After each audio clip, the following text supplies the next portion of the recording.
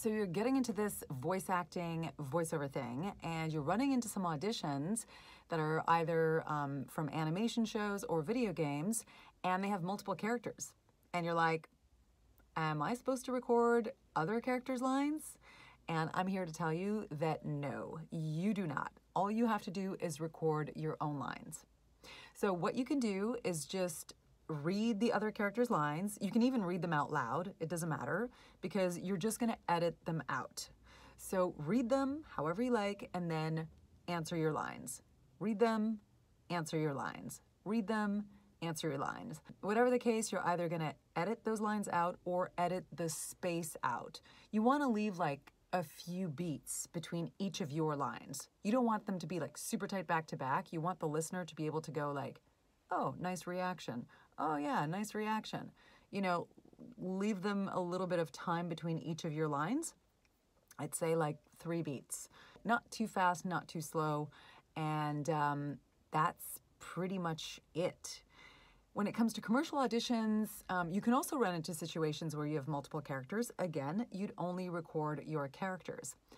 If you're the uh, the commercial audition is sort of a typical audition with no characters, just like an announcer or whatever in that case, you want to be mindful of timing. So if the commercial is supposed to last 30 seconds, you want to come in at about 29, 29.5, 30, but you don't want to go over 30. You want to be exactly 29, 29.5, 30, somewhere in there. Um, not 27, not 32, 33, or 34. You really have to try and get that timing right. Same thing for 15 seconds. You want to come in at 14, 14 and some little hairs, um, just before 15, basically. So not 13 and not 17 or 18.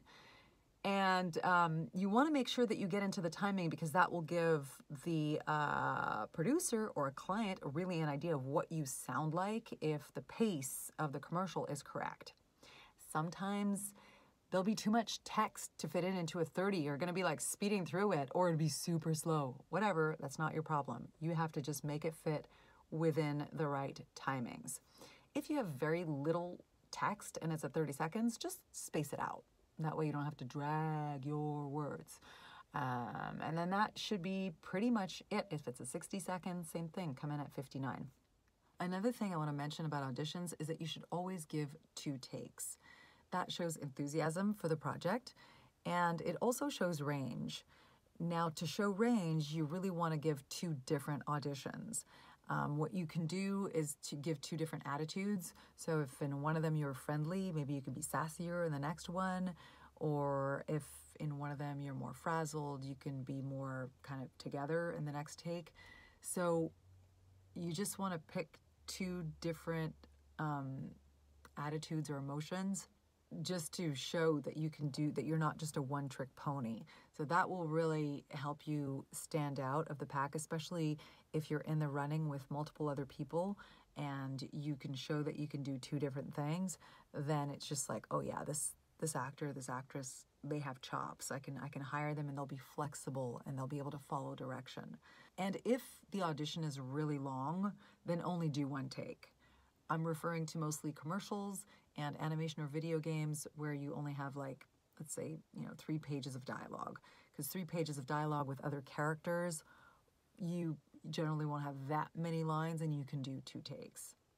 So that's pretty much it. In another video i'm going to talk to you about slating. Um, i'm sure you've seen that. You have to slate your name. I'll explain what that is in a different video if you have any questions or comments please leave them in the comment section. I'll do my best to answer them as cleverly as i can